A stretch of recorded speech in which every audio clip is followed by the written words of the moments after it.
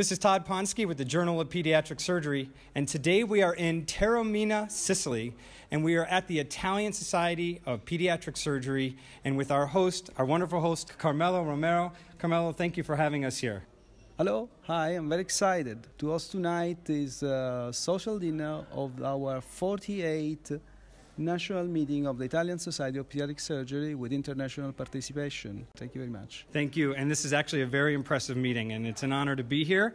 And so we're going to take this opportunity to discuss a paper. The title of the paper is Age at Orchidopexy of the Undescended Testicle in the United States. And the first author is Dr. Williams. And we have with us Professor Agostino Pierro from Toronto Sick Kids, who's going to briefly talk to us about this paper. Uh, thank you much, Todd. This is, um, has been a great opportunity to read this paper. It's a very interesting one uh, on a subject which is uh, highly debated uh, when is the most appropriate uh, time to do an orchidopexy in children with undescended testicles.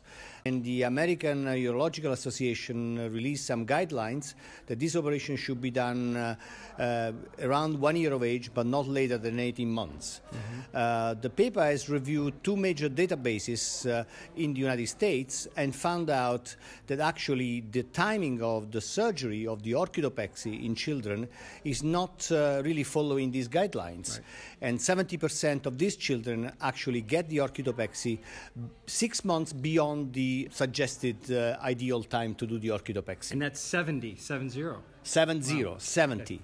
Uh, so the median time is between four and five uh, years of age. Wow. So the debate continues. Uh, is this affecting the fertility later on of these children or not? We don't know. Okay, so we have uh, another expert here, Professor Prem Puri, uh, who's from Dublin. And uh, Professor Puri has obviously published a lot about this topic. So, Professor Puri, what are your thoughts?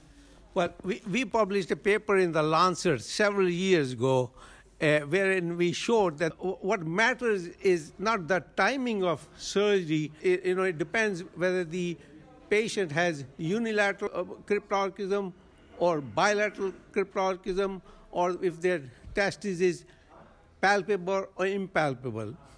We examined semen in uh, 142 adults who had a, a orchidopexy between the ages of 7 and 13 years of age. And what we found was that the semen analysis uh, was normal or acceptable in patients who had unilateral cryptorchism and also patients who had bilateral palpable testes, palpable in the superficial inguinal pouch, that they, they also had semen which was normal or acceptable. Whereas those patients who had bilateral impalpable testes, the testes were either in the deep in the abdomen or canalicular, all these patients in our study were azoospermic.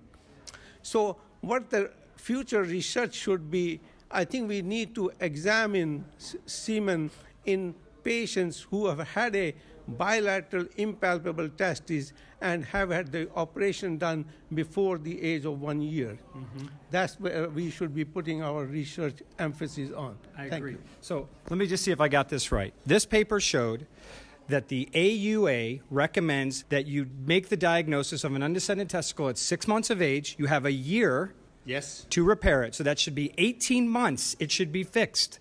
And they found that 70% of United States surgeons go after that point.